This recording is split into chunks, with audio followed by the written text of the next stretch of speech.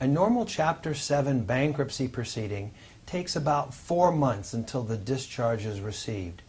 At this point, most consider the bankruptcy final.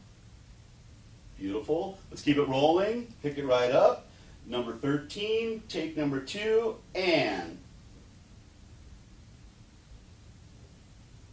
A normal Chapter 7 bankruptcy filing takes about four months until the discharge is received. At this point, most consider the bankruptcy final.